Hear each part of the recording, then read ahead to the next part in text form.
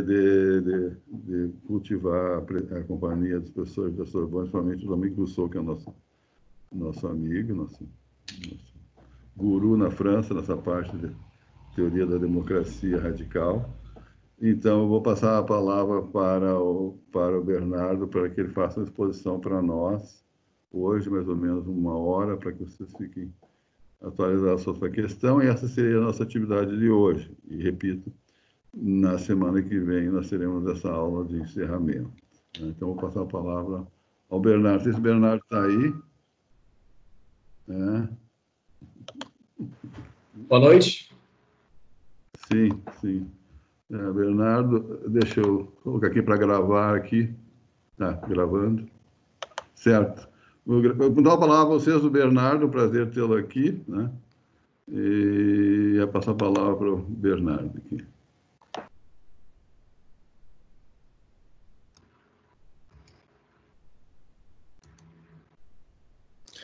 Boa noite a todos. Eu agradeço desde já o convite do professor Leonel Severo Rocha.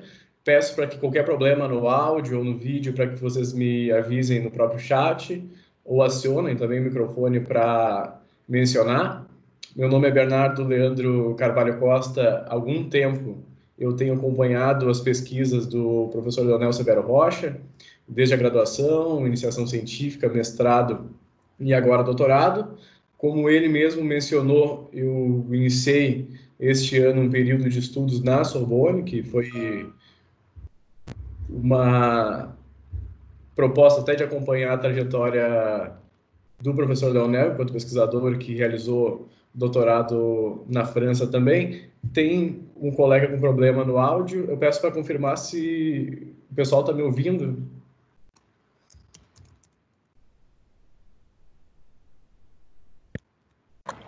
Eu estou ouvindo bem, para dizer a verdade.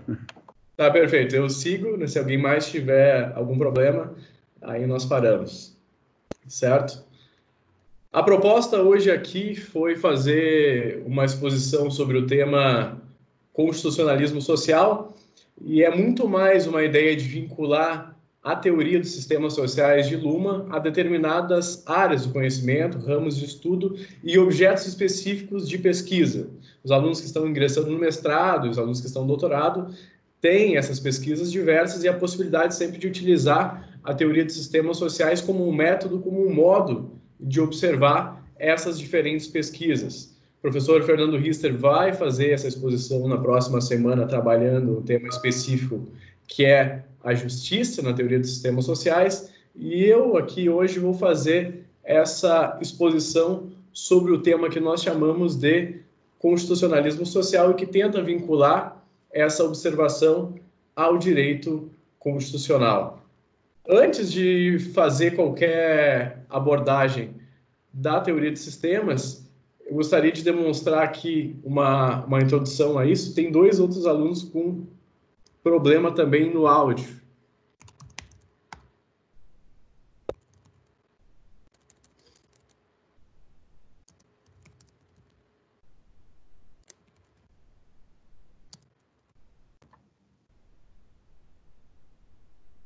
Eu não sei, eu estou ouvindo bem, Bernardo. Não sei se. Eu sigo aqui então.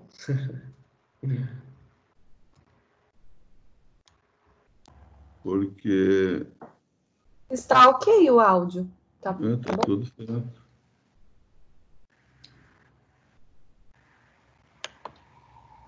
Tá certo? Vou seguir a exposição. Não, não, segue. Eu acho que alguma coisa. Tá. Vou pedir pra, eu vou pedir para o Ariel, que é o nosso técnico, dê uma olhada aí, tá? Por favor, Ariel. tá perfeito. Imagem eu acho que é questão de internet mesmo. Aqui tá tudo certo também. Tudo certo? Imagem também, Ariel? Perfeito. Eu estou lhe ouvindo perfeitamente e a tela está ok.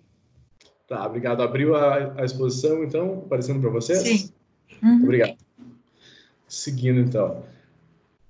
Nessa ideia de teoria de sistemas sociais, eu acho mais interessante, sempre quando eu faço uma exposição sobre isso, tentar demonstrar por meio de imagens como nós poderíamos observar esse método que, na verdade, é uma observação da própria sociedade, quando nós falamos de teoria de sistemas sociais. E teoria de sistemas sociais, quando nós caracterizamos que o Luma destaca o que é uma sociedade formada pela comunicação e como o sistema do direito é incluído nessa sociedade, eu começo a me questionar a todo momento que tipo de comunicação eu estou produzindo e nessa sociedade, na sociedade mundial do Nicolas Luma, em qual desses sistemas sociais essa comunicação é caracterizada. Então, estou proferindo hoje essa fala para vocês aqui e eu pensaria em termos de teoria de sistemas sociais em qual desses sistemas sociais eu identificaria, eu qualificaria essa comunicação que eu estou proferindo hoje? Nessa sociedade baseada na comunicação, eu consigo diferenciar esses sistemas sociais no momento que eu faço esse questionamento. Toda comunicação, vai dizer o Luma, ela é uma comunicação dotada de sentido. E uma comunicação dotada de sentido, ela está vinculada a um desses sistemas sociais. No direito, e essa lógica do código binário que vocês analisaram ao longo do semestre, eu caracterizo uma comunicação como comunicação jurídica no momento em que eu consigo fazer uma distinção entre o que é direito e o que não é direito. O código binário do sistema do direito vai caracterizar essa comunicação na sociedade como jurídica ou não jurídica. Mas eu falando aqui neste momento, proferindo uma fala em uma aula, se eu fosse perguntar qual o sistema social que caracteriza na sociedade essa fala, que sistema eu estou pensando, estou imaginando no momento de falar, de proferir essa comunicação, eu poderia pensar agora, nessa lógica da teoria sistêmica, em uma aproximação em um desses sistemas específicos que eu estou diferenciando. E aí eu colocaria já, fazendo uma análise sistêmica, essa lógica do aprendizado ou não aprendizado. Quando eu estou falando aqui para vocês, eu tenho uma preocupação a todo momento com que vocês aprendam o que eu falo, mas eu também corro o risco, é uma oposição, de vocês não aprenderem o que eu estou falando, não entenderem, não compreenderem, não aceitarem essa comunicação. Eu tenho uma lógica binária, portanto, nessa comunicação, eu tenho uma diferença entre o ato de aprendizado e o ato de não aprendizado. A lógica binária, aprender ou não aprender.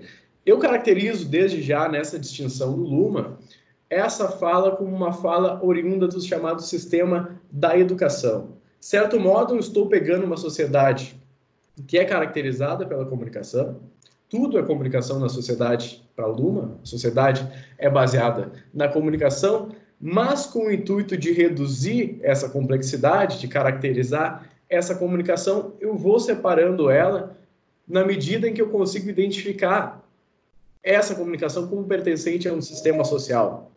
É uma comunicação baseada na lógica do aprendizado barra não aprendizado, é uma comunicação baseada no sistema da educação. Para o eu sempre faço essa análise da teoria de sistemas sociais como uma metodologia para diferenciar esses tipos de comunicação e, por consequência, para reduzir a complexidade social. Eu faço essa distinção, eu sei que a comunicação é possível na sociedade por meio de diversos âmbitos, mas os diferentes atores observam ou realizam comunicações com base em pressupostos diferentes. Eu hoje aqui estou realizando essa comunicação com base na lógica do aprendizado e do não aprendizado. Se eu fosse observar essa mesma comunicação com base no sistema do direito, se eu voltasse a análise e focasse agora, aproximasse isso do sistema do direito e baseasse essa análise já na lógica direito ou não direito, eu poderia questionar talvez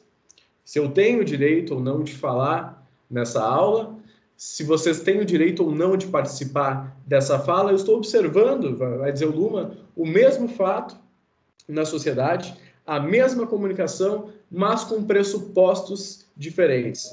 E essa contextualização, essa policontextualidade, como vai destacar o Teubner, vai nos dar todo o sentido para entender hoje os problemas atuais no âmbito da globalização, como o mesmo fato é observado no cenário global pela lógica diversa de diferentes atores. No sistema da economia, eu poderia questionar se essa fala é uma fala lucrativa ou não. Mas hoje eu estou falando de sistema da educação, então a minha intenção aqui é que vocês apreendam o que eu estou falando. É sempre uma lógica binária que vai caracterizar essa comunicação com base em diferentes pressupostos. Isso Luma vai destacar, e aí eu já utilizo um conceito específico da teoria de sistemas sociais, porque para o Luma, no momento em que eu profiro essa comunicação, por consequência, o meu sistema psíquico, Luma vai diferenciar três tipos de sistema, nós falamos do sistema social baseado nesses sistemas de comunicação, nós temos o sistema psíquico, no momento que eu falo, eu estou acoplando estruturalmente um desses sistemas sociais, ou seja, a minha comunicação ela tem sentido na medida em que eu utilizo um desses sistemas sociais para adotar essa comunicação de sentido. É uma comunicação educativa, como o exemplo que eu dei, ou é uma lógica baseada no aprendizado, ou é uma comunicação jurídica? Estou pensando em termos de direito ou não direito, estou falando no grau de juridicidade dessa fala, ou no grau econômico da dinâmica lucro ou não lucro do sistema da economia. Todo momento que eu falo algo, que eu me comunico dentro da sociedade, essa comunicação ela só tem sentido, ela é dotada de sentido na medida em que eu consigo identificar um desses sistemas sociais como aquele sistema que me oferece os pressupostos para a comunicação. Isso é de suma importância para resolver diversos bloqueios em graus de juridicidade que nós enfrentamos hoje nessa resolução de problemas globais. Mais importante do que caracterizar algo como jurídico ou não jurídico, do direito ou não direito, é observar como os atores dos outros sistemas sociais estão observando esse mesmo fato.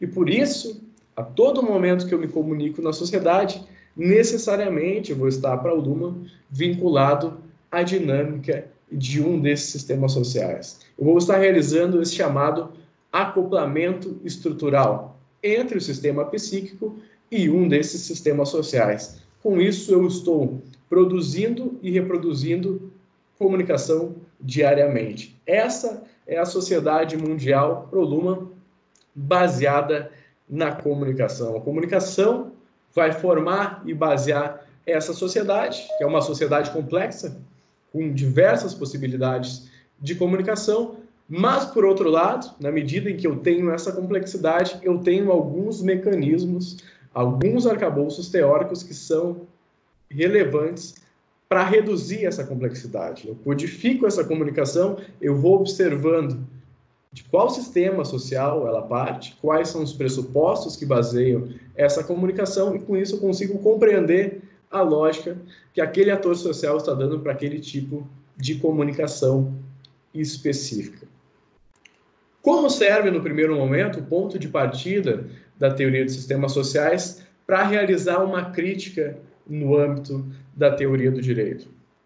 As teorias jurídicas, vai colocar uma de modo geral, autoproduzem na prática alguns dos pressupostos que são inerentes à própria teoria do direito. Os juristas têm uma concepção de ciência do direito, por exemplo, que é própria do direito. Nós criamos uma espécie de ciência do direito e esse grau de cientificidade ele é caracterizado pelos próprios autores da ciência do direito. Não por acaso o Kelsen vai realizar uma distinção própria entre causalidade e imputação e vai defender a imputação como o grande mecanismo de verificação desse grau de cientificidade do direito. Vai ser essa diferença na teoria do direito.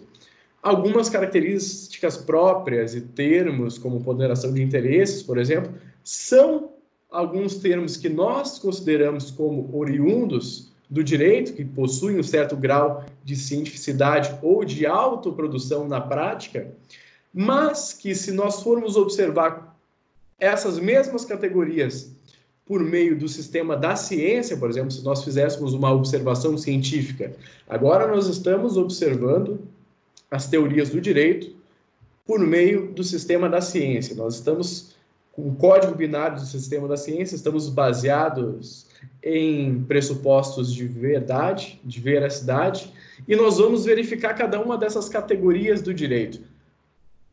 Analisando essas categorias da ciência do direito por meio do sistema da ciência, nós poderíamos afirmar, por outro lado, que elas não são categorias científicas, na medida em que o grau de verificação delas é dado pelo próprio sistema do direito de modo fechado. São categorias que nós mesmos criamos e reproduzimos na prática, coloca o Luhmann. Por isso, essa primeira crítica, ou o primeiro ponto de observação da teoria lumaniana é justamente essa. Nós observamos as coisas, de certo modo, no sistema do direito, pelo código direito ou não direito. Nós possuímos um conceito próprio de ciência, de cientificidade, mas quando nós observamos essas categorias com base em outros sistemas, nós não conseguimos, por consequência, verificar e afirmar a categoria científica, por exemplo, dessas categorias quando nós vamos para o sistema da ciência. Do mesmo modo, quando alguém do sistema da economia observa o direito, não consegue observar ou não tem prioridade na observação sobre o grau de juridicidade desses fatos, mas sim sempre baseia essa observação com base na dinâmica do lucro ou do não lucro. Essa é a primeira crítica no âmbito da teoria do direito, mas esses sistemas sociais, essa teoria, vai envolver sempre para um ponto de partida, isso o próprio autor nos coloca, uma abstração muito forte na elaboração de conceitos fundamentais que são próprios da teoria de sistemas. Antes de fazer qualquer observação ou de tentar reduzir a complexidade social por meio da sociologia sistêmica, é importante passar um pouco por esses conceitos fundamentais e elevar um grau de abstração essa teoria para que nós possamos fazer a chamada observação de segunda ordem.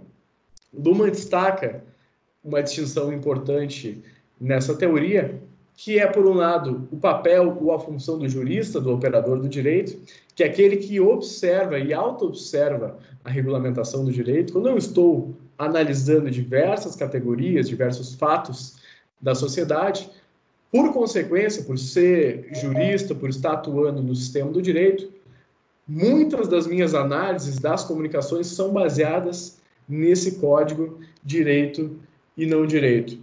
Por outro lado, a partir da teoria de sistemas sociais, é possível utilizar esse arcabouço teórico para sair, é, como se nós tivéssemos a possibilidade de, de desfocar a observação, sair de dentro do sistema do direito e observar as relações do direito com os demais sistemas sociais. A teoria do Luma é uma teoria que coloca o direito dentro da sociedade, ao lado de outros contextos de comunicação, de outros sistemas sociais. Não é uma teoria normativa fechada que resolve tudo por meio do sistema do direito, mas se preocupa muito antes, de modo interdisciplinar, de observar como esses outros sistemas sociais, esses atores da sociedade, também observam o direito. Então, nós vamos passar por conceitos como de sociedade moderna, sociedade funcionalmente diferenciada, de acoplamento estrutural que nós mencionamos no começo, e o conceito próprio também de autopoiese, que o Luhmann vai trazer das teorias biológicas e da própria medicina. Quando Luhmann concebe essa ideia de sociedade moderna, ele está falando em uma sociedade funcionalmente diferenciada, que não é nada mais do que uma sociedade organizada em diferentes sistemas sociais. Aquela primeira imagem da apresentação. Quando eu consigo observar a sociedade por meio desses diferentes sistemas sociais, eu consigo diferenciar ela funcionalmente. Por que diferenciar funcionalmente? Cada um desses sistemas possui uma função comum e uma função específica no âmbito social. Como função comum é o que o Luhmann chama de redução da complexidade. Quando eu falo que há comunicação possível de modo diverso na sociedade, eu posso qualificar essa comunicação com base em diferentes contextos, que o Luhmann chama de sistemas, eu preciso caracterizar esses diferentes sistemas sociais como possuindo um código binário, como possuindo meios de comunicação genericamente simbolizantes dessa comunicação, para conseguir qualificar cada uma dessas comunicações com base em um sistema social. Quando eu consigo observar isso, que o sistema do direito atua em uma lógica própria, o sistema da política atua em uma outra lógica, e assim o sistema da economia, eu estou falando em sociedade moderna. Para datar isso, Luma vai colocar o final do século XVIII, início do século XIX, com o avanço do capitalismo nas sociedades modernas. É a sociedade funcionalmente diferenciada. Primeiro, eu crio essa lógica, essa teoria de sistemas sociais para reduzir essa complexidade. Então, estou proferindo essa fala. Vocês já sabem, conseguem caracterizar, dependendo da observação, que eu estou baseando a fala no sistema da educação em uma lógica de aprendizado ou não aprendizado. Vocês sabem que na dinâmica dos tribunais ou em questionamentos diários de vocês por atuarem no sistema do direito, muitos dos questionamentos de vocês são baseados na lógica do direito não direito, do próprio sistema do direito. Nós podemos questionar todo dia a juridicidade de determinados fatos.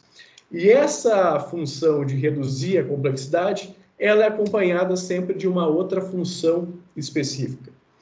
O direito, por exemplo, na sociedade moderna, na sociedade funcionalmente diferenciada, ele possui a função de estabilizar expectativas em relação a decepções possíveis e futuras. O direito traz mecanismos e esses mecanismos servem para estabilizar essas expectativas no âmbito da sociedade moderna. Nós temos o sistema da política, por exemplo, que toma decisões coletivamente vinculantes no âmbito do Estado, mas nós temos de fato uma sociedade moderna que é funcionalmente diferenciada. Ela tem sistemas que têm essa função de reduzir a complexidade, para que eu saiba a origem dessa comunicação, e uma função específica para cumprir funções diversas no âmbito social, como estabilizar expectativas e como, por exemplo, tomar decisões coletivamente vinculantes. Nessa ideia de que os sistemas possuem um fechamento, nessa lógica de uma função específica e uma função comum, nós temos também uma espécie de pontes de ligação entre esses sistemas que o Luhmann chama de acoplamento estrutural. Neste momento, estou realizando acoplamento estrutural com o sistema da educação, estou proferindo uma fala com base nessa codificação binária, mas os sistemas entre si também têm pontos de ligação, chamadas pontes de conexão de comunicação, que são também o que Luhmann chama de acoplamento estrutural. Para utilizar um exemplo muito comum na teoria de sistemas sociais que nós vamos mencionar, a própria Constituição, a todo momento, cria esse ponto de conexão entre direito e política. O Estado toma uma decisão, essa decisão deve ser fundamentada com base no direito, a Constituição coloca os limites dessa decisão, e, por consequência, esse ponto de contato entre política e direito, a todo momento, é levado em conta quando eu tenho esses sistemas autônomos e autopoéticos. É uma teoria de alta complexidade social. O Niklas Luhmann vai colocar essa proposta de criação de uma teoria da sociedade, não apenas uma teoria do direito, mas uma teoria que coloca o direito dentro da sociedade. E como período de conclusão, o Luhmann vai dizer, é uma proposta de conclusão em 30 anos. Ele iniciou essa teoria geral da sociedade em 1969, mas para criar uma teoria que avançasse em pontos que outras teorias não colocaram anteriormente.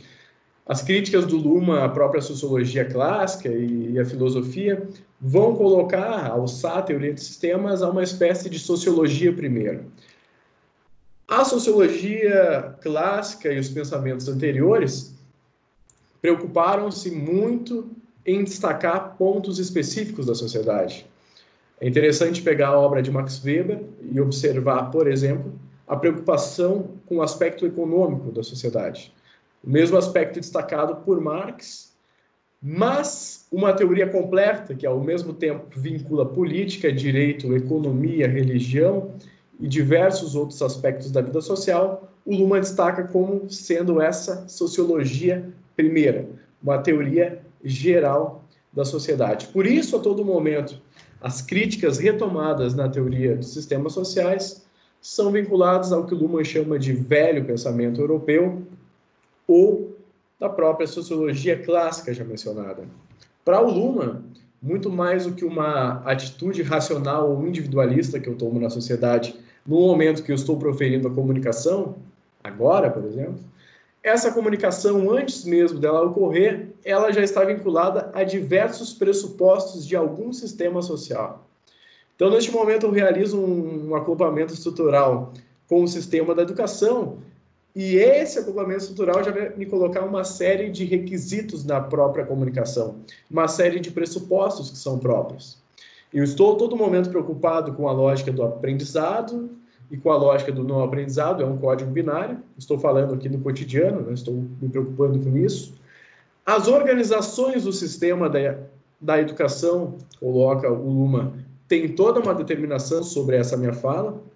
Não por acaso eu estou falando para uma turma de mestrado da Unicinos, que é uma organização do sistema da educação.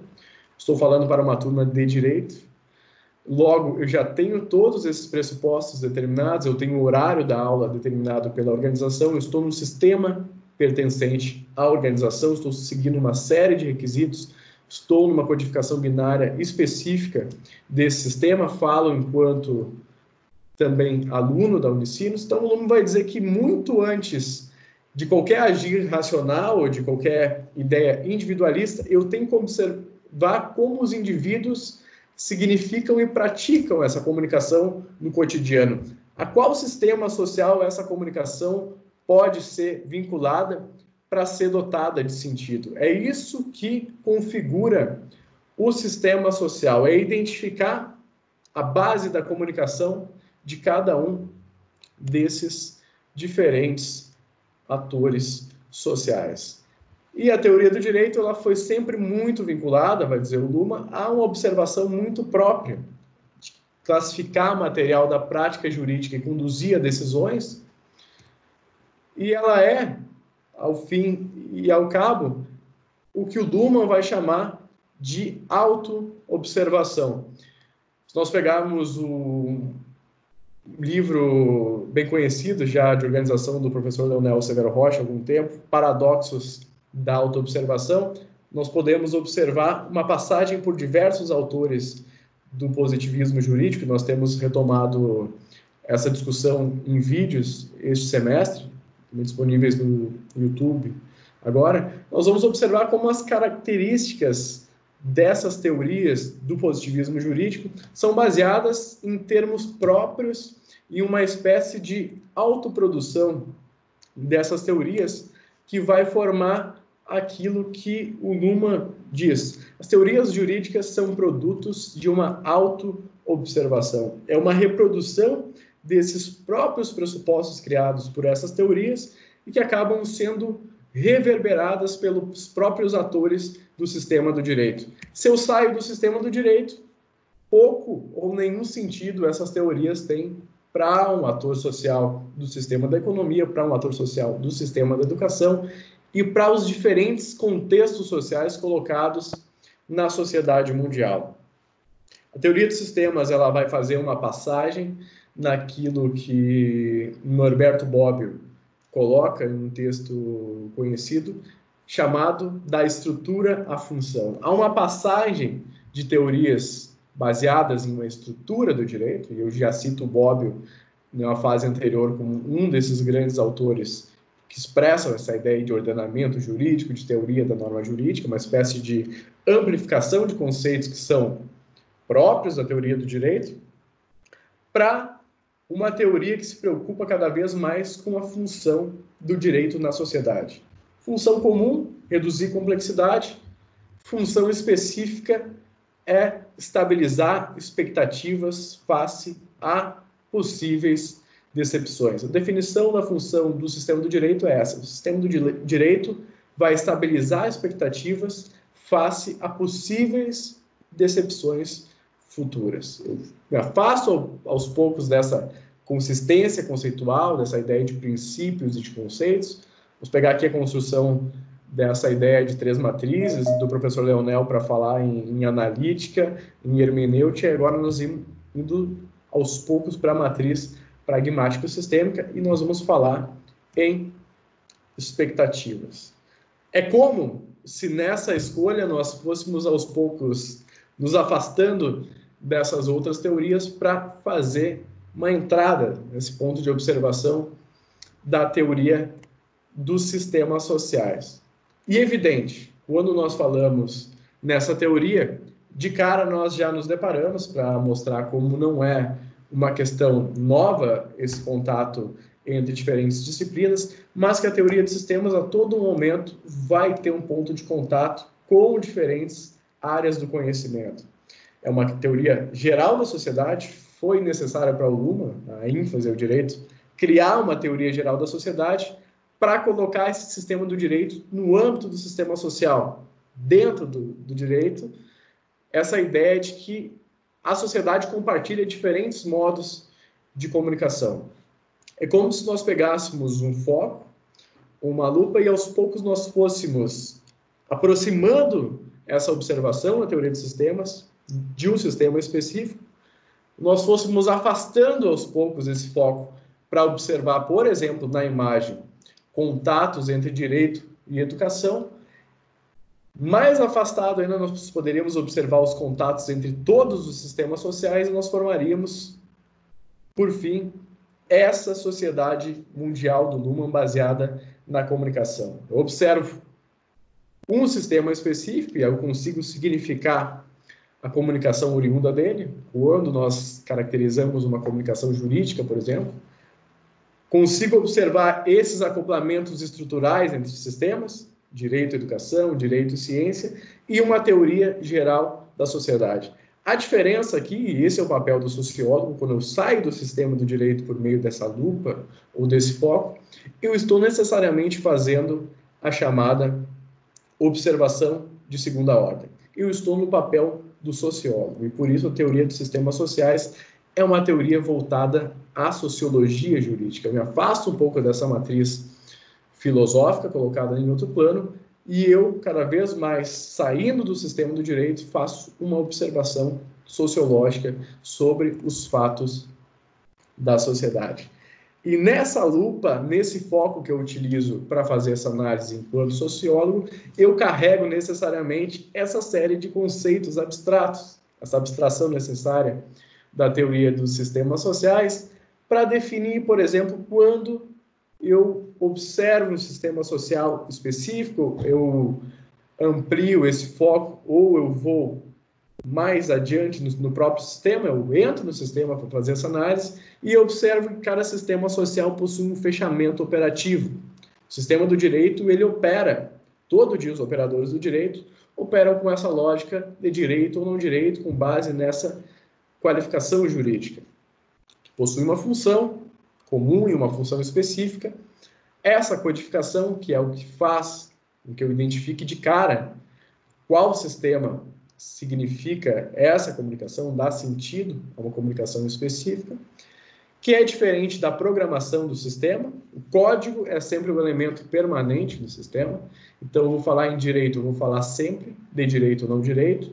Mas a programação, essa chamada programação condicional no direito, a lógica do C, então, ela altera na medida em que os tribunais decidem, quando centro do sistema do direito, medidas diferentes que vão formando a própria evolução do, do sistema do direito, a própria autorreprodução, nós vamos falar de autopoiese. E essa programação vai mudando de acordo com a legislação e com acordo, de acordo com as decisões dos tribunais. Muitas questões anteriormente não estavam na programação do sistema do direito e passam a estar nesses mecanismos de evolução na medida em que há essa alteração na programação. A programação é um mecanismo não estável no sistema do direito na medida em que ele está sempre colocado à prova, de modo a formar a própria evolução do sistema do direito. Vocês observaram a própria caracterização da hermenêutica jurídica, algumas discussões no semestre, vocês vão observar isso.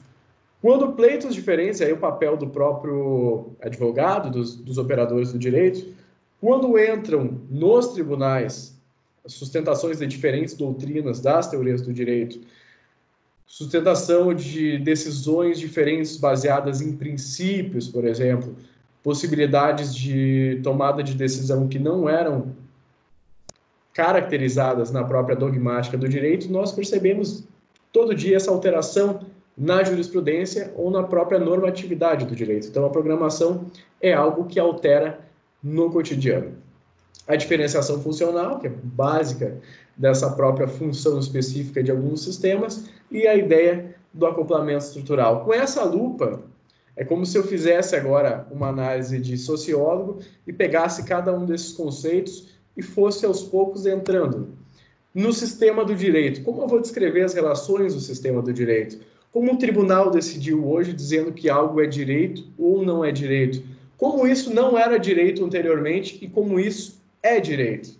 Como o tribunal decidiu que, no âmbito hermenêutico, nós discutimos essa decisão em alguns vídeos recentes, que agora o direito constitucional é um ramo de garantia de direitos e, portanto, eu preciso de um tribunal específico para garantir a jurisdição constitucional em matéria de direitos fundamentais, e baseado nisso, eu vou assegurar que o cidadão possa ter seu pleito junto a um tribunal específico para isso, e vou decidir no Supremo Tribunal Federal, por exemplo, que é permitida a união estável, união homoafetiva. Como eu vou caracterizar que essa decisão ela não fazia parte do sistema do direito antes e agora ela faz parte do sistema do direito, eu estou fazendo uma análise que é própria do sistema do direito enquanto mecanismo de observação. É como se eu pegasse essa lupa e fosse focar nessa organização, nessa organização interna do próprio sistema do direito. Mas, do mesmo modo, eu posso afastar essa observação e, aos poucos, observar como o direito, e há sempre uma linha que vai marcar essa transição, se relaciona com o sistema da política. Eu poderia antes aqui mesmo dizer essa relação, observar como o sistema da política se organiza. O sistema da política, ele tem um meio de comunicação simbolicamente generalizado, que é o poder. Eu tenho uma organização encarregada da política, que é o Estado, a organização mais conhecida é o Estado, e o Estado tem o poder de tomar decisões coletivamente vinculantes. Vincula as pessoas que pertencem, uma definição tradicional, ao seu território e toma essas decisões baseadas em uma lógica de governo ou oposição. Agora, toda vez que o sistema da política toma uma decisão, por via de consequência, essa decisão deve ter um grau de juridicidade. Alguns autores da sociologia das constituições, aqui eu destaco o próprio Chris Thorne, o trabalho dele na formação de um funcionalismo histórico para analisar isso, vai dizer que consigo observar a Constituição na história, um pouco de influência também da própria tradição constitucional da Inglaterra, no momento em que eu percebo que o sistema da política, o Estado, as formações pré-estatais começam a utilizar princípios do direito romano para legitimar suas decisões. Eu estou aí falando de uma constituição formada na história. No momento que o Estado toma uma decisão e fundamenta essa decisão com base em um pressuposto jurídico, eu estou falando de uma constituição, de um acoplamento estrutural entre política e direito. O Estado toma decisões hoje, a todo dia, baseados na lógica do direito e não do direito. Para pegar uma decisão mais atual ainda, eu tomo decisões em época de pandemia e eu sigo algumas determinações ou não de organizações voltadas ao sistema da saúde. Eu tenho uma lógica do sistema da saúde, uma lógica de uma comunicação global, hoje da OMS, por exemplo, e ela é um meio de comunicação observado pelo sistema da política para tomar suas decisões, e essas decisões são todas elas controláveis pelo sistema do direito. Eu observo a todo momento se ela respeita ou não os pressupostos constitucionais. Cada um desses sistemas tem uma observação específica, mas há esses momentos, esses acoplamentos estruturais em que há um contato permanente entre esses sistemas. Do mesmo modo, se eu quisesse falar, por exemplo, da economia, eu poderia caracterizar a economia como um sistema que possui um meio de comunicação simbolicamente generalizado. Então, todo momento que eu realizo atos de pagamento, eu estou me comunicando pelo sistema da economia. E assim, os atores do sistema da, da economia atuam sempre com uma lógica baseada no lucro ou não lucro.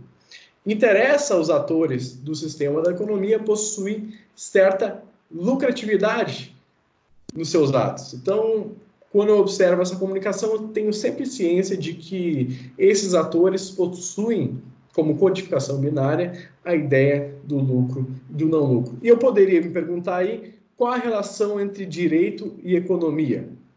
Primeiro, se a observação primordial desses atores é com base no lucro ou não lucro, toda observação sobre a normatividade jurídica ou os pressupostos colocados como entraves ou como regulação desses atores econômicos, ela vai ser primeiro baseada nessa lógica do lucro ou não lucro. É lucrativo que eu siga os pressupostos do sistema do direito ou não é lucrativo? Se não for lucrativo, o grau de observância do direito, como vai colocar a Ginter pode chegar a zero pelo sistema da economia. Agora, por outro lado, um ponto permanente entre economia e direito, um acoplamento estrutural, é colocado na lógica do contrato. Quando eu realizo um contrato, eu possuo, nesse âmbito, a pretensão de obter certa lucratividade, estou falando nesse contexto do sistema da economia, eu realizo um contrato, quero receber algo em troca por esse contrato, quero que esse contrato seja efetivado, mas pode ser que esse contrato não seja cumprido. Eu tenho uma possibilidade de decepção futura, eu tenho então uma expectativa que pode ser frustrada. O sistema na sociedade que é encarregado de estabilizar essas expectativas é o sistema do direito. Então, o contrato vai me oferecer alguns mecanismos normativos do sistema do direito para que eu possa cumprir, exigir o cumprimento desse contrato em caso de descumprimento. Então, no contrato, eu tenho a todo momento um contato direto entre economia e direito. Eu tenho esse contrato, eu espero que ele seja cumprido, é uma expectativa, mas pode ser que ele não seja cumprido. Então, eu tenho essa lógica sempre de estabilização de expectativas em relação a esses fatos. E assim eu vou fazendo a observação do sistema social e das caracterizações que a todo momento vinculam esses pontos de contatos de uma teoria que é, de fato, uma teoria interdisciplinar, uma teoria geral da sociedade. E é uma teoria que a todo momento vai jogar na dinâmica da comunicação essa ideia de que nós estamos em uma sociedade complexa. Sociedade complexa para o Luma, é uma sociedade que é dotada de comunicação, que é uma comunicação infinita, nós podemos contextualizar a comunicação a todo momento, a todo momento nós produzimos comunicação, estou falando, vocês estão ouvindo, concordando ou discordando, entendendo ou não, são atos que caracterizam a comunicação que tem três etapas seleção, emissão, compreensão, e eu não posso falar de aceitação ou não dessa comunicação. O fato é que nós estamos produzindo e reproduzindo a chamada comunicação. E a teoria do direito, se nós pegarmos características gerais, norma jurídica, dever ser, ela é uma teoria baseada na redundância, reprodução desses termos a todo momento. É a chamada auto-observação para a Luma. E na diferenciação funcional, quando nós observamos essa sociedade, que vai passando sempre, tomando o texto do óbvio, para uma ideia de estrutura, a uma lógica da função desses sistemas sociais e da função do direito na sociedade.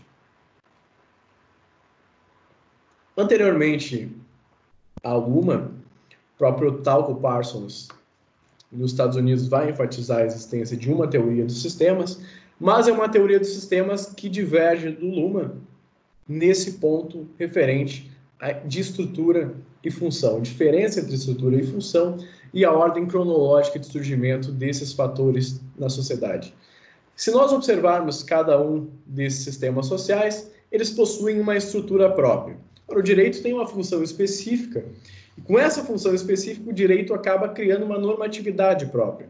Eu preciso estabilizar expectativas em relação a decepções futuras possíveis. eu estabilizo todo esse arcabouço necessário para estabilizar isso com base em uma normatividade específica. Eu tenho todas as definições de contrato de cumprimento de contrato, de descumprimento de contrato, de acesso à jurisdição para pleitear esse descumprimento do contrato, na chamada dogmática jurídica. Eu tenho institutos como o casamento, que estabilizam uma relação no plano jurídico. Eu tenho diversos institutos que a todo momento estão entrando e saindo do sistema do direito com uma espécie de estrutura interna própria. Do mesmo modo, a economia possui a sua interna, uma sua interna economia global, nós poderíamos falar hoje, e a política possui no Estado e nos outros âmbitos de organização do poder político uma espécie de estrutura própria. Para o Parsons, a partir da análise dessas estruturas, nós poderíamos observar a função específica desses sistemas sociais. É o que chamavam na teoria anterior de estrutural funcionalismo. Para o Luhmann, invertendo essa ordem, justamente o que eu falei antes. A partir da função de cada um desses sistemas, esses sistemas desenvolvem estruturas próprias. Eu falo então em funcional estruturalismo. O direito precisa estabilizar essas relações, o direito, portanto, vai criando e vai formando isso na dogmática jurídica. E por que ele estabiliza a partir da função? Porque nós temos expectativas no âmbito social, sujeitos têm expectativas, sujeitos comunicam essas expectativas e essas expectativas aumentam a cada dia. Aumentam no âmbito social e aumentam no próprio âmbito de atuação dos advogados e dos operadores do direito. Se nós observarmos a atuação na jurisdição constitucional, por exemplo, para pegar um, um exemplo só, nesse âmbito de garantia de direitos que nós já discutimos, a todo momento a jurisdição é provocada sobre caracterizações novas de mudança no direito, de evolução no sistema do direito, se nós pegarmos a caracterização do Luma, e, portanto, essas expectativas crescem a cada dia e essas expectativas são cada vez mais internalizadas para o sistema do direito. Então, por meio dessa função de estabilizar expectativas, é que eu crio essa estrutura e não precedo essa estrutura para criar uma função específica. E esse acoplamento estrutural vai possibilitar que ao mesmo tempo eu tenho um sistema fechado, o direito possui essa lógica própria, esse fechamento, essa dogmática e essa estrutura interna, mas ao mesmo tempo ele permite essa abertura no momento em que há pontos de conexão com diferentes sistemas sociais. Para falar de Constituição, que é um tema recorrente nas nossas pesquisas, a Constituição nada mais é do que o acoplamento estrutural entre política e direito. A todo momento eu controlo esses atos da política com base em pressupostos jurídicos e eu tenho esse ponto de conexão permanente. Eu tenho um acoplamento entre estruturas, um acoplamento estrutural na lógica do Luma, que sempre vai jogar na identificação desses sistemas com a diferença entre código e programação, entre estabilidade de um lado instabilidade de outro. A facilidade em identificar por meio da codificação, é direito ou não direito, mas a possibilidade de alterar todo dia o âmbito de comunicação interna do sistema do direito. Por isso, o sistema do direito, quando nós falamos, ele é um sistema que a todo momento vai se basear na lógica do paradoxo. Já falei no título relevante de um dos livros do Leonel, Paradoxos da Autoobservação, e justamente eu tenho no sistema do direito essa função, primeiro, de reduzir complexidade. Eu tenho comunicação ampla na sociedade e eu reduzo complexidade a partir do momento em que eu estabilizo essa complexidade em um dos sistemas. Eu consigo, então, identificar que essa comunicação é jurídica. Mas, ao mesmo tempo, eu tenho que estabilizar expectativas que não cessam na sociedade. A todo momento há pleitos diferentes, posso pegar o próprio exemplo do Supremo Tribunal Federal, o caso da, da união afetiva já foi mencionada, uh, casos de decisões recentes, própria possibilidade de aborto de fetos anencéfalos, pegar uma série de decisões para mostrar como a jurisdição constitucional ela tem entrado em diferentes ramos do direito, essa fase do direito constitucional que nós chamamos de terceira fase, ela atua em diversas áreas do direito tentando harmonizar isso, mas de fato, se eu for pegar em pleitos que partem da sociedade para o judiciário, eu falo sempre em expectativas que estão sendo colocadas para que o judiciário decida. Para que essa organização, o tribunal que está no centro do sistema do direito, decida se isso é uma comunicação jurídica ou se não é. Quando isso entra para o sistema do direito, eu internalizo essa comunicação como comunicação jurídica, eu falo que isso é direito, que isso faz parte do sistema do direito, eu reduzo a complexidade, de um lado, eu tiro essa comunicação que estava irritando o sistema do direito, estava querendo entrar no sistema do direito, mas que não estava, estava no chamado ambiente do sistema social, reduzo, e agora eu sei que isso é direito, mas, por outro lado, eu aumento a complexidade interna do sistema do direito, na medida em que cada vez que eu reduzo essa complexidade do entorno, daquilo que não é direito, eu aumento o que é direito, o que está dentro do sistema do direito. Logo, eu tenho muito mais comunicação agora dentro do sistema do direito e cada vez mais eu reduzo a complexidade do entorno, aumentando a complexidade interna do sistema do direito. Por consequência, eu reduzo complexidade aumentando complexidade e isso gera todos os dias a chamada complexidade interna do sistema do direito e forma o que nós chamamos de paradoxo. O paradoxo é quando eu aumento a complexidade diminuindo, ou eu diminuo aumentando. O sistema do direito é um sistema de comunicação que é paradoxal justamente por meio dessa função. Permite sua alteração constante nessa ideia de programação, essa constante provocação, irritação do judiciário, a atuação de advogados e atores do sistema do direito, e cada vez mais eu falo em evolução do sistema do direito na medida em que eu começo a internalizar essas comunicações que estão no ambiente. Por isso, a teoria dos sistemas sociais é uma teoria que vai tratar sempre desses diversos conceitos que nós passamos ao longo da exposição, mas principalmente da relação entre sujeito, sociedade e sistema. Eu sou um sujeito, eu sou um indivíduo, Enquanto indivíduo, eu faço parte do chamado entorno do sistema social. Eu não estou no sistema social. O sistema social ele é caracterizado pela comunicação. Eu acoplo o sistema social, eu entro nessa lógica no momento em que eu passo a me comunicar.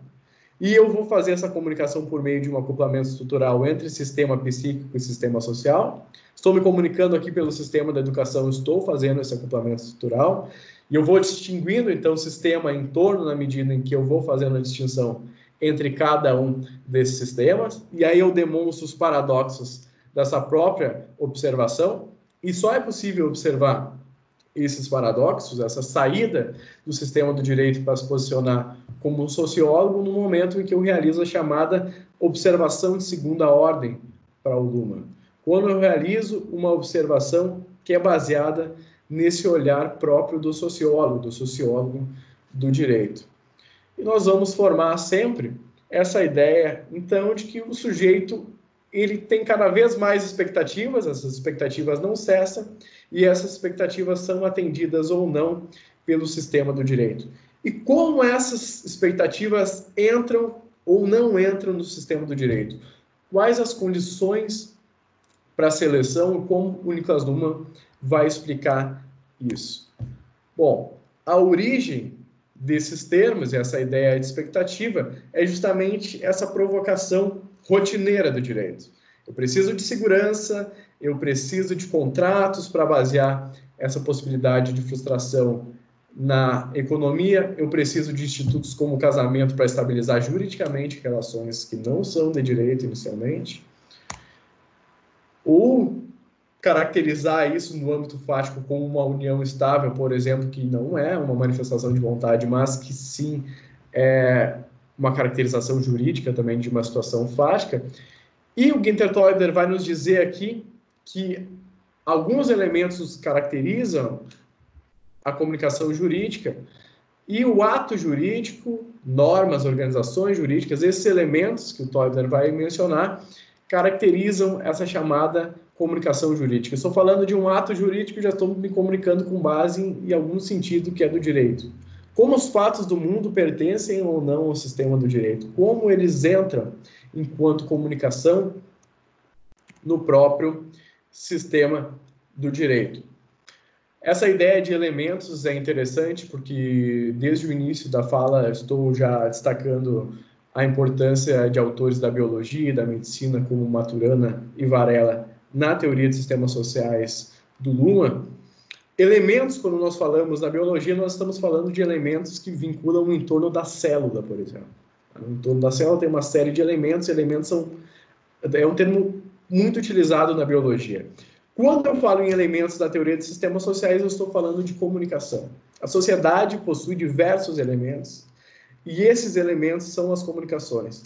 E cada um dos sistemas sociais vai selecionar esses elementos com base em características que lhes são próprias. O sistema do direito, por exemplo, com base na lógica binária direito ou não direito. E aí nós chegamos à origem das teorias da autopoiese na ideia de autonomia baseada nos estudos de Maturana e Varela. É uma espécie de metáfora organicista da sociedade, por isso mesmo eu gosto de utilizar, quando vou falar de teoria dos sistemas, essa exposição baseada em imagens, em, em aproximação, para tentar demonstrar para vocês como eu tento imaginar essa lógica sistêmica em imagens. Maturana e Varela, nessa lógica, essa metáfora organicista que o Luma vai trabalhar, colocam justamente essa definição de autopoiese enquanto autonomia. Se nós fôssemos definir autopoiese, seria mais fácil iniciar, talvez, pelo contrário, nessa obra do Maturana do Varela.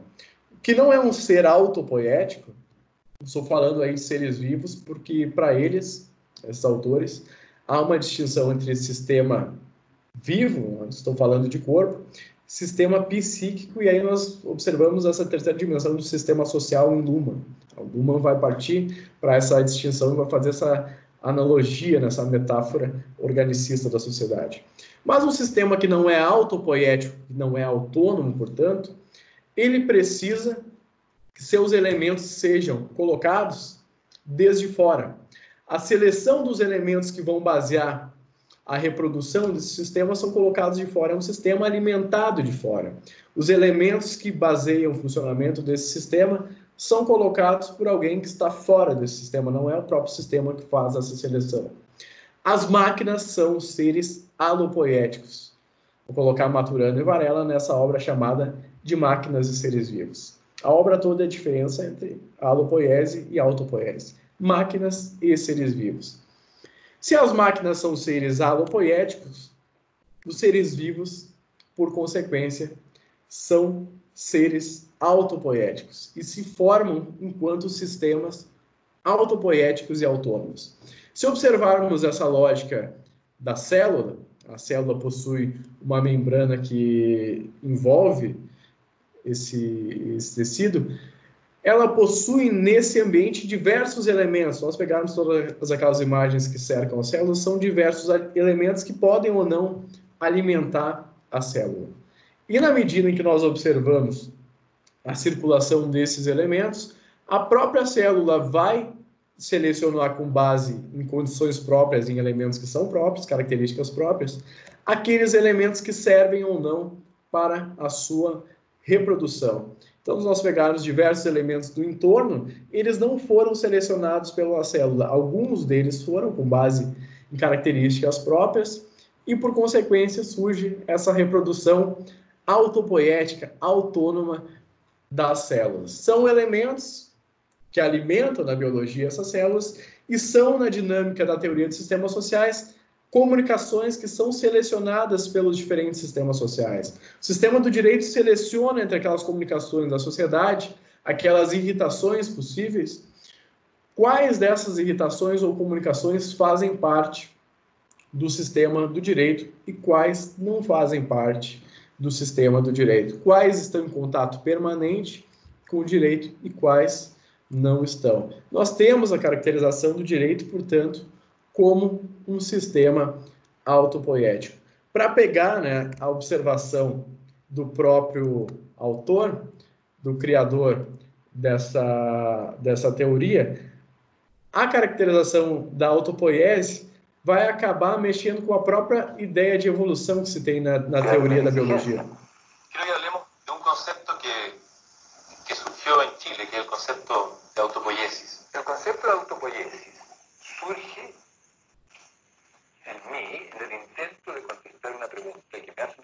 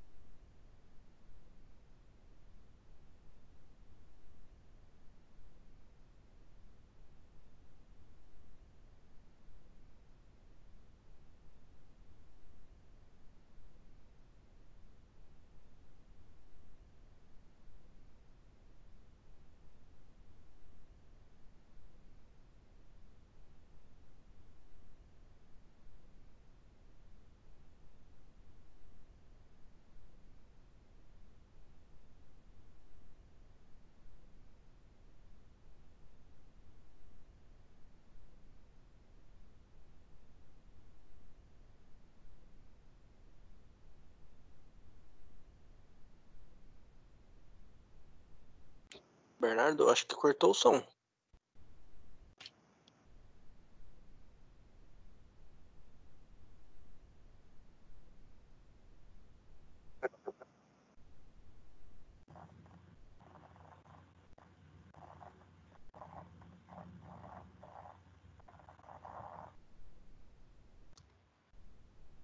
Talvez ele não nos ouve. Para ele deve estar normal. E estava passando agora, né, retomei um trecho do, do Maturana. De... o teu vídeo. Perfeito. Esse é o vídeo, dá para acessar depois, você posso passar a referência, mas é só uma, um pequeno depoimento sobre essa formação da ideia de autopoese pelo próprio Maturana e como essa dinâmica vai influenciar a própria teoria de sistemas sociais do Niklas Luhmann.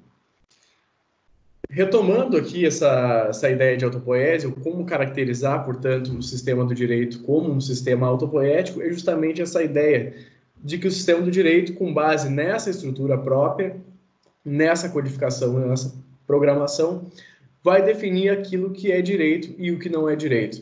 E aqui eu poderia caracterizar essa comunicação jurídica como uma comunicação possível em dois âmbitos. E esses âmbitos eles são enfatizados em qualquer sistema social. Primeiro, no cotidiano, Luhmann vai nos dar esses exemplos. Quando eu peço a conta em um restaurante, a conta, por favor, por exemplo, eu posso imaginar que há diversos elementos que configuram um contrato naquele ato, diversos atos da própria vida civil, mas eu não estou pensando em uma qualificação jurídica propriamente dita nesses termos. Quando eu observo um prédio sendo demolido também, eu posso imaginar possibilidades de indenizações às famílias e outras coisas, mas eu não, não estou acionando o código do direito nessa comunicação. Por outro lado, quando eu entro em uma repartição pública e exijo algo porque eu tenho o direito, né, eu quero essa informação porque eu tenho direito a tal, ou o próprio exemplo que eu dei no início da fala, será que eu tenho direito de falar nessa aula? Vocês têm direito de participar dessa fala? Eu estou no cotidiano caracterizando essas comunicações como comunicações jurídicas. Eu estou tratando do sistema do direito e dessa ideia de codificação binária. Eu tenho direito ou não tenho direito. Eu manifesto esses diferentes atos no próprio cotidiano. A comunicação jurídica ela é possível no cotidiano, assim como no próprio sistema da educação. Eu dei o exemplo de uma pessoa que está falando e que está baseando essa fala em atos de aprendizado ou de não aprendizado. Eu estou baseando isso no cotidiano, eu estou atuando, estou proferindo essa fala, mas eu estou efetivamente usando isso no cotidiano. Por outro lado, quando uma organização toma essas decisões, eu tenho organizações em cada sistema. As organizações de cada sistema, elas se comunicam por meio de decisões, vai colocar o número. Então, o sistema do direito, a organização do sistema do direito é o tribunal. Quando o tribunal toma uma decisão, eu posso falar no cotidiano que eu tenho direito a determinada coisa, eu posso pleitear isso e já estou oficializando essa atuação, mas quando o sistema do direito toma essa decisão, o tribunal toma uma decisão, de fato ele se comunica e essa comunicação é tematizada como decisão. No âmbito das organizações se tomam decisões nos sistemas sociais. Sistema da educação, posso pegar uma universidade enquanto organização. Estou aqui falando, estou proferindo a aula, mas a Unicinos toma uma decisão ou não, e essa decisão é tematizada no próprio sistema da educação. Eu pergunto se eu tenho o direito ou não de proferir essa aula, a Unicinos decide interferir no sistema que é regulamentado por ela e cancela essa aula fecha o sistema agora. Tomou uma decisão baseada no sistema da educação. É uma lógica de aprendizagem? É, ou de não aprendizagem. Ela não permite que vocês participem dessa fala ou que eu fale aqui. Ela tomou uma decisão no sistema da educação. Então, a todo momento, nessa lógica de teoria dos sistemas sociais, eu trabalho com duas dinâmicas diferentes. De fato, a sociedade ela é comunicação, seja no cotidiano ou seja no âmbito de atuação dessas organizações, eu sempre caracterizo o tribunal como uma organização, porque isso vai servir naquela ideia de ampliação do foco ou de afastamento também, para que nós possamos fazer diversas pesquisas no âmbito da teoria dos sistemas sociais. Posso observar como as organizações do sistema do direito se posicionam ou decidem em determinados fatos, como comunicam o direito, por exemplo, e posso afastar o foco para observar como organizações de diferentes sistemas estão posicionando sobre o mesmo fato, tomando decisões diversas. Tema da globalização, que não entra hoje no debate, mas é algo que nós temos debatido bastante, pode se observar hoje facilmente como as decisões do sistema da saúde, pegar decisões ou diretivas globais da própria OMS, encaminham diretivas como o sistema da política segue ou não essas diretivas e como o judiciário analisa essas diretivas como jurídicas ou não. Nós podemos cada vez mais afastar e ampliar esse foco para observar a dinâmica das diferentes organizações. E aí nós já entramos em pesquisas práticas na área do direito. Eu gostaria de falar para vocês aqui um pouquinho antes do encerramento, de fazer muito mais um convite para debater esses temas e para que vocês acompanhem essas discussões, que possam também utilizar a teoria de sistemas como um ponto de partida uh, aos interessados nos sistemas, as pesquisas que são possíveis e que nós exemplificamos aqui por meio desse arcabouço teórico. Como eu vou pegar essa lógica dos sistemas sociais para falar de constitucionalismo social, por exemplo? Fazendo uma, uma breve introdução. Falando aqui para vocês que cada sistema social possui uma organização encarregada de tomar decisões específicas, eu já poderia encarar aqui um sério problema quando eu falo do sistema da política. Porque eu falo do sistema da política e eu menciono o Estado hoje como uma organização encarregada de tomar decisões coletivamente vinculantes. Perfeito. Pegando o tema último recorrente que eu, que eu já mencionei, qual é a autonomia do Estado hoje, ou qual é a relevância do Estado de tomar decisões totalmente isoladas do resto do mundo em um tema de natureza global como a saúde? Qual é a força do Estado, o poder do Estado na tomada dessas decisões? Por outro lado, qual é a força do direito na regulamentação dessas decisões ou na criação própria de uma normatividade interna de cada país para tratar de um problema desses de natureza global? Em que medida um sistema como o sistema da saúde vai guiar em uma onda global essa tomada de decisões e como o sistema da economia vai estar cada vez mais interessado que os países sigam essas diretivas para que a economia comece a circular novamente o mais rápido possível. O que eu estou tentando dizer para vocês? Com um problema comum, específico, um problema de natureza global, cada vez mais eu preciso articular mecanismos para que esses sistemas consigam observar o mesmo fato, sabendo que eles possuem pressupostos específicos de observação, mas observar o mesmo fato de modo que uma decisão tomada por um dos sistemas sociais seja também relevante para que o outro sistema social possa se desenvolver de modo autônomo. Eu peguei o sistema da saúde e esse problema de natureza global da própria Covid para mencionar isso para vocês. Hoje, as decisões do Estado brasileiro que sejam totalmente isoladas do que ocorre no resto do mundo, ou seja, não sigam as diretivas do sistema da saúde, demonstra uma total insuficiência do direito enquanto um sistema que é capaz de estabilizar expectativas em face a decisões ou previsões de possíveis frustrações, porque o sistema do direito não conseguiria articular no território nacional sozinho, nós não podemos criar uma dogmática jurídica própria totalmente isolada para tratar de um problema de saúde como é a Covid. E o sistema da economia a todo momento vai acompanhar essa formação de um direito comum, que vai ser ou não baseado em diretivas do sistema da saúde, de decisões da política que sigam ou não essas diretivas, de cada vez mais atores especializados nesse tema e que po possam, ao decorrer desse tempo, gerar ao mesmo tempo uma lógica de lucratividade de menor prejuízo no sistema da economia, de efetividade do sistema do direito, ou seja, os tribunais com força para acompanhar essas decisões do sistema da política e o sistema da política tendo poder nessa tomada de decisão e podendo decidir de modo efetivo, ou seja, como que essas decisões possam ter uma certa efetividade, possam vincular os atores envolvidos na sociedade. Cada vez mais eu observo essa dinâmica dos sistemas sociais e diferentes pesquisas, essa é muito recente, para tratar do exemplo da Covid, mas diferentes pesquisas nós temos desenvolvido para demonstrar a importância de uma teoria como a dos sistemas sociais para observar uma sociedade policontextural, como diria Ginter Teubner. Diversos contextos, diversos sistemas observando o mesmo fato. Há algum tempo nós destacamos nessa relação entre direito e política em uma pesquisa sobre a Operação Lava Jato.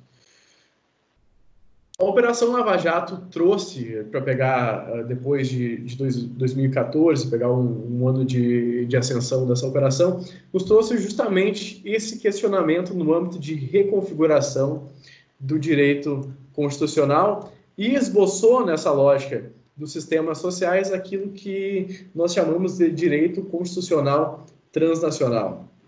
Eh, Leonel e eu publicamos há pouco tempo e convidamos o leitor, está anexado já no plano de ensino, esse artigo chamado Direito Constitucional Transnacional, observações sobre os atratores sistêmicos entre direito, economia e política na articulação transnacional para apuração da lavagem de dinheiro. A partir desse caso específico, nós conseguimos observar, primeiro, diversos chamados bloqueios da comunicação.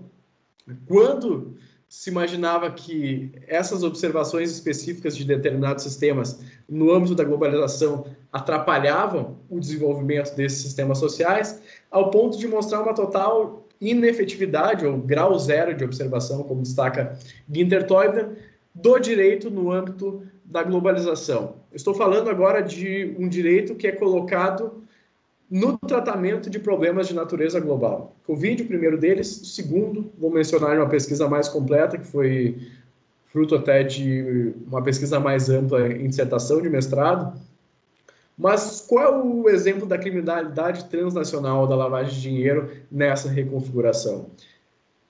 A partir do momento que nós mostramos que a lavagem de dinheiro é um crime necessariamente transnacional, ou seja, essa lavagem apurada na Operação Lava Jato, ela envolve a remessa de dinheiro para o exterior necessariamente, eu demonstro primeiro uma ineficiência do nosso sistema jurídico, do, da toda a normatividade da estrutura do sistema do direito para apurar esses casos. O direito nacional não era preparado antes da Operação Lava Jato e de alguns movimentos anteriores para conseguir imputar a essas condutas um grau de antijuridicidade, o sistema da política, o Estado, não possuía informações do destino desse dinheiro, o sistema da política não conseguia mapear essas transações de dinheiro, e o sistema da economia começou a perceber aos poucos que essa transação de dinheiro não declarada pelo mundo todo, pelo sistema da economia, acabava gerando um abalo forte em termos de imprevisibilidade econômica.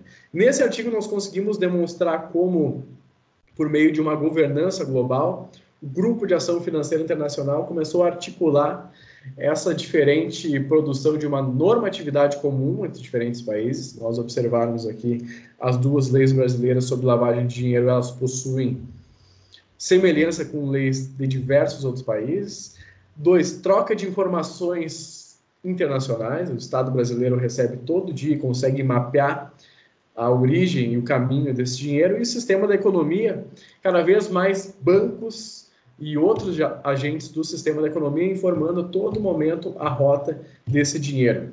Isso, em outro texto que nós publicamos é, sobre o trabalho de Ginter Teubner, chamado A Crônica de, de uma Morte Anunciada, Direito Regulatório em Ginter nós analisamos como isso que nós chamamos de constitucionalismo social, que é a possibilidade de analisar esses novos problemas colocados ao direito constitucional a partir dessa lógica dos sistemas sociais. Como, primeiro, nós precisamos observar determinados problemas, chamados pontos cegos de observação, e eles estão diretamente vinculados a essa impossibilidade das teorias tradicionais de observar como os outros atores sociais observam os problemas que nós caracterizamos como jurídicos. E depois dessa possibilidade, nós começamos a articular essas pontes de conexão entre os sistemas sociais.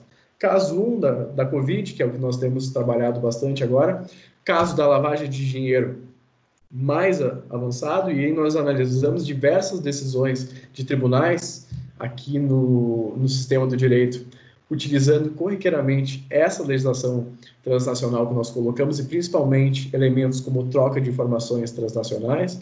Há uma análise toda da jurisprudência do TRF da quarta região sobre a Operação Lava Jato e diversos outros problemas que têm surgido. Posso colocar aqui a lógica do direito ambiental, que talvez seja o problema de natureza global mais evidente e que necessita também dessa articulação, dessa observação de diferentes contextos para que eu possa observar essas limitações um momento inicial e depois começar a propor soluções para resolver esses problemas de natureza global. O que nós temos trabalhado hoje nessa ideia de constitucionalismo social. Constitucionalismo social nada mais nada menos que imaginar que o direito é acoplado sistemicamente com a política, essa concepção de Constituição, que o direito está colocado na sociedade e que hoje essa ideia de Constituição está colocada na globalização.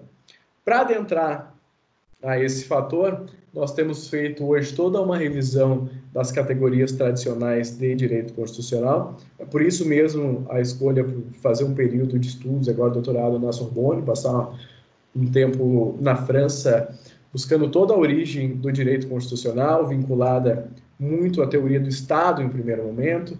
Carré de Malberg, todos os autores, depois da Declaração dos Direitos do Homem e do Cidadão, que trabalharam essa ideia de que o direito primeiro é um mecanismo de separação dos poderes, é um mecanismo de relações entre políticos, é um direito vinculado aos políticos e suas relações.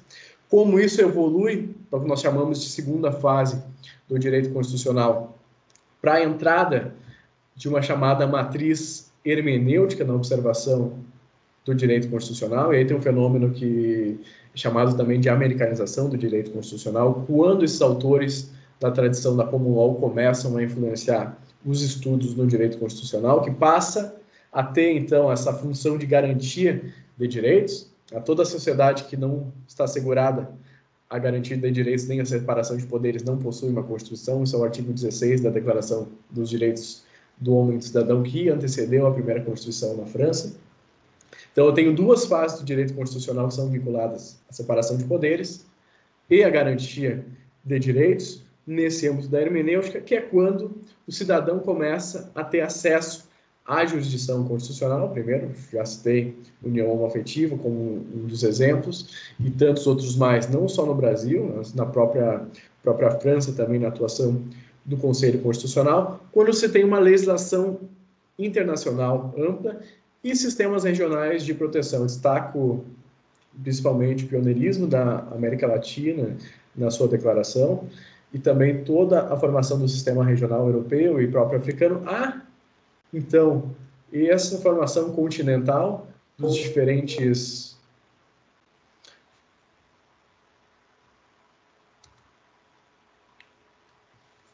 a essa formação continental dos diferentes sistemas de proteção de direitos humanos, nessa segunda fase do direito constitucional, e há, então, né, que nós estamos sustentando, e é outro texto que eu recomendo para vocês, chamado As Três Fases do Direito Constitucional, que faz essa reconstrução, passando também, aproveitando essas matrizes epistemológicas do professor Leonel Severo Rocha, uma passagem entre analítica, hermenêutica e pragmática sistêmica, para chegar, finalmente, nisso que nós chamamos de constitucionalismo social. E colocando duas perguntas, então, né? É possível articular conexões sistêmicas para resolver esses bloqueios na comunicação? Nós mostramos que sim, nesse trabalho recente sobre lavagem de dinheiro, que é o artigo anexado no plano de ensino. Há propostas nesse sentido para os problemas da Covid-19 também na área de direito ambiental e tantos outros temas, como o próprio direito digital, que é um tema recorrente na teoria de Thomas Best, que vocês conhecem.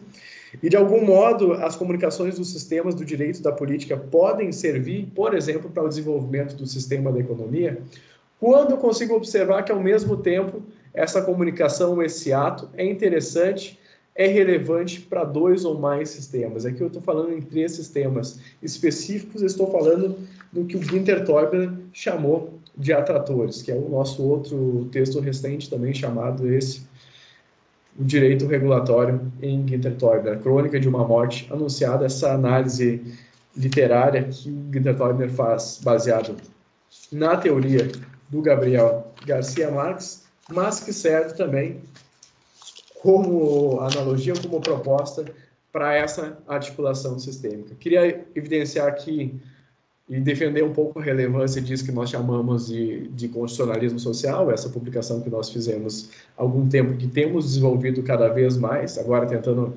caracterizar essas três fases do direito constitucional. Nessa terceira fase, a grande matriz teórica é a pragmática sistêmica, é a teoria de sistemas sociais de Niklas Luhmann, e é um ramo de estudos que tem sido desenvolvido dentro da sociologia sistêmica, que nós chamamos de sociologia das constituições. Cada vez mais eu descrevo ao longo da história como se tem alterado a dinâmica das constituições, o que eu considero ou não como constituição, como esses problemas são colocados na globalização e principalmente como esse arcabouço teórico todo que eu fiz questão de passar com vocês nessa lógica de uma apresentação extenuante até da teoria de sistemas sociais, mas como ela serve para que nós possamos, então, analisar e propor soluções a esses problemas de natureza global.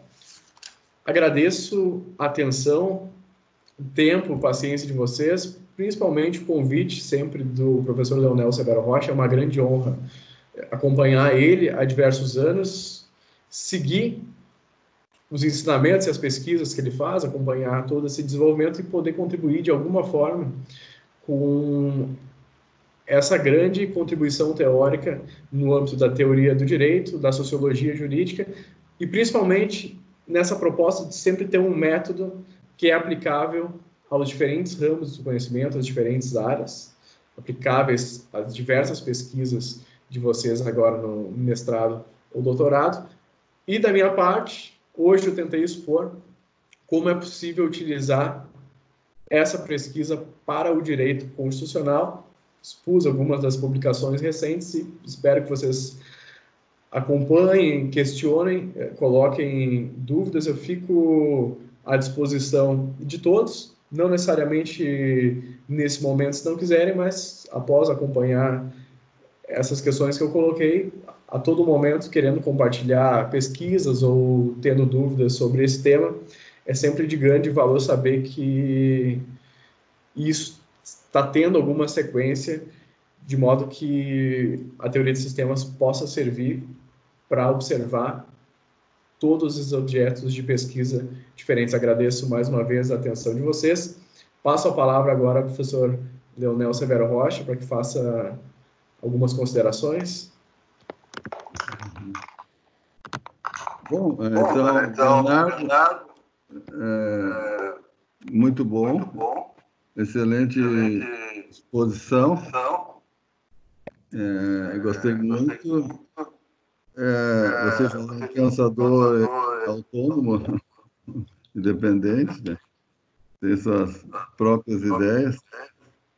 É, de fato, nós publicamos juntos uh, vários textos uh, recentemente uh, tentando mostrar pesquisas empíricas sobre essa área que nos interessa tanto. Né? É, vejam só, nessa disciplina, a teoria do direito, o nome dela hoje é Teoria do Direito e da Sociedade, porque houve um momento na, na, na, na história em que se começou a pensar o direito de uma maneira mais crítica. Né? E isso foi nos anos 70, anos 80. E, a, e, então existia uma disciplina chamada Teoria Geral do Direito. E a crítica do direito, ela surge nessa época, ela tem uma fundamentação política e, e econômica, como uma maneira de dizer o direito como ele está, ele funciona bem, ele é um direito racional, ele tem uma matriz teórica hegeliana, porém esse direito ele é politicamente e economicamente comprometido. Então, embora ele funcione bem, ele só favorece um certo tipo de, de pessoa. Então, a análise sociológica terminou sendo a metodologia utilizada pela crítica do direito desde os anos 70. Então, as associações críticas do direito são associações que, no início, foram inspiradas pela sociologia. Porém, o problema que acontece é que ficou de um lado uma dogmática jurídica mais normativista, mais legalista, mais tradicional, e de outro uma crítica sociológica do direito que falava de tudo menos de direito. Então ficaram dois lados opostos nesse debate. No, nesse período dos anos 80 surgiram alguns autores, como Habermas, que é extremamente importante. No nosso caso, nos interessa Jürgen é, Habermas, mas também o Niklas Luhmann, que começaram a dizer é possível trabalhar a teoria dos sistemas conjuntamente com, com o direito, é, desde que eu tenha uma matriz sistêmico-sociológica. E essa foi a ideia de estudar Niklas Luhmann, porque ele concilia as contribuições da teoria do direito com as contribuições da sociologia. E claro que se eu for radical nisso, eu tenho que pensar que de alguma maneira isso é um tanto estranho, por isso que a gente usa a palavra paradoxo, né? É porque o tipo de, de, de, de, de comunicação que para um jurista, para um sociólogo não funciona, mas nessas teorias sistêmicas essa tem sido a alternativa e nós temos seguido já há anos uh, tentando demonstrar isso, como é possível uh, pensar o direito junto com a sociologia, né? a partir de teorias sistêmicas e hoje em dia, com a globalização, com, com a universalização dos problemas, se vê que é inevitável que se trabalhe as coisas de, de, de maneira é, sistêmica. Não há, não há como, como escapar disso, isso é inevitável. E um, um dos autores que teve mais sucesso tudo isso foi realmente o Gunther Toyner, que tenta mostrar como o direito é extremamente é, relevante do ponto de vista sociológico, no Brasil, nós temos lá o Marcelo Neves, que é um autor interessante, que fala já em transconstitucionalismo, por exemplo, nós já fala no, no, no, direito baseado na ideia de constituição global, nós temos vários autores, mas aqui nós temos tentado a, a utilizar a matriz lumaniana dentro do, do, do, possível, mas já abrindo para autores, como nós vimos aqui, do próprio Thomas West, né, e, e vários autores brasileiros que nós temos já, já, já, já abordados. É, só para dar um exemplo, se o pessoal ainda tem um pouco de, de tempo, é, uma das, das parábolas mais famosas contadas pelo, pelo Nicolas Luhmann é a do 11 camelo. Né? Todo mundo conhece a história do 11 camelo, que o 11 camelo ele é, na realidade, um, um paradoxo, porque é uma maneira de resolver uma, uma partilha, uma maneira de resolver uma, uma herança, né? todo mundo conhece a história.